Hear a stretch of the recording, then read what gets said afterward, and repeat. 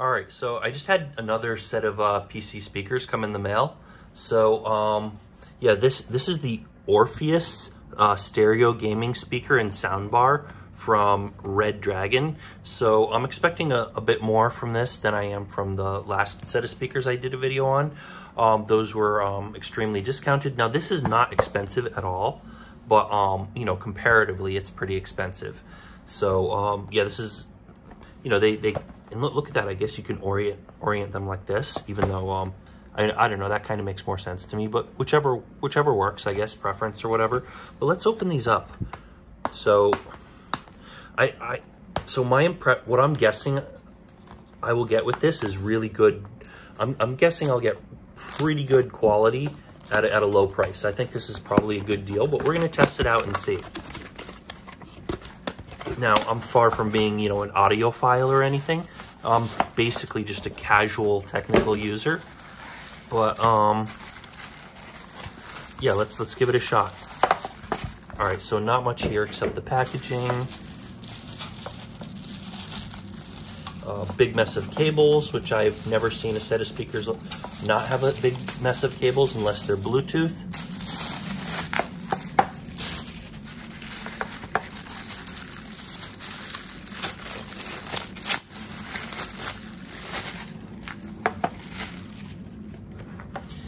And here we go, rip this right off.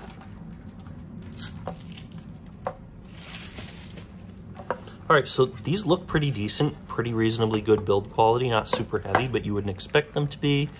Um, let's see, what do we have here? We have both, um, we have a headphone jack and a microphone jack. So that that's pretty, pretty neat. Um, great feature and everything. Um, what else? You, you can see there's two speaker drivers in here and um, maybe some something else in there. Any, anyways, um, yeah, so this one is actually USB powered.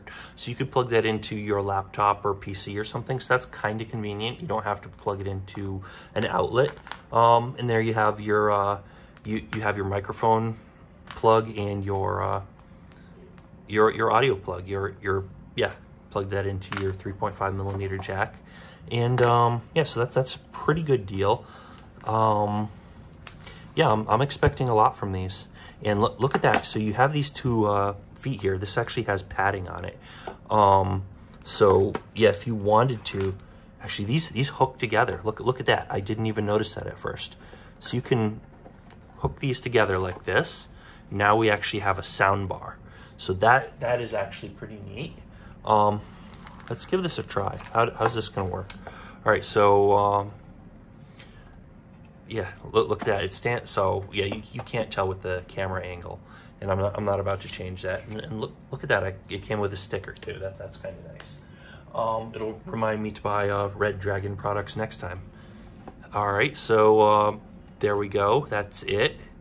Um, so you have your volume control, which is also a power switch. So it turns on and then volume goes however, yeah. And your, your two jacks right there. So that's that's basically it. We're gonna test this out. Um, with my iPad. I'm not going to actually play the music for this video because I, I don't have any non-copyrighted music that I can come up with at the moment. But, um, uh, so, you know, I, am not allowed to put any copyrighted music in my video, and I don't have any non-copyrighted music um, readily available. I do have some actually in my uh, directory that I add to videos, but I don't have that on hand right now. So I'm, I'm just going to test it out. You wouldn't be able to tell recording like this anyways, but I'm going to test it out and um, come back and, and report on how, how it uh, performed. All right, so I've just tested it out and um, yeah, so actually um, first thing I'm gonna point out, um, probably not something you care about.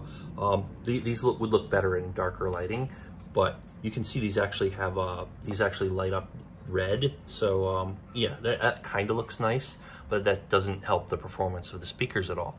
Now, these did not perform as well as I thought they would. Um, they just weren't as loud. I mean, they're not bad, right? But um, they sound pretty decent, not incredibly smooth and nice like um, some of my other pairs of speakers that I have. Um, they don't come with a separate subwoofer, to be fair. Um, so I, I, guess in my head, what I'm comparing these to, um, like I have other speakers that are about this size that also come with a separate I'm actually not sure what's even inside here, if that's supposed to be like a small subwoofer. Um, but yeah, I'm, I'm used to, to a set of speakers with like a big box like this for the subwoofer and and the, the two uh, left and right speakers are going to be about that size anyways. So they're, they're not quite, you know, they, they don't compare with the performance of that, but they're, they're still pretty reasonably good. Um, a little bit better for music. They'll, you know, you should probably be able to hear it anywhere in the room and it's going to be reasonably loud if you want to listen to music, but it's not going to, you know, it's not going to shake the building and you're not going to hear it throughout the entire house unless you're playing it at like 3, 3 a.m. and everyone's sleeping. But yeah, generally it's not, they're not super loud. They're not, you know, it's not like booming heavy sound or anything, but um, it's, it's reasonably good, um, way better for, yeah, def, definitely pretty good for watching movies and YouTube videos. It's, it's way beyond what you need for that probably. Um, you, you know, it's, uh, it's, as, as far as like actually it's, it's pretty pretty good quality sound but as far as actual um you know it's not audiophile stuff by any means.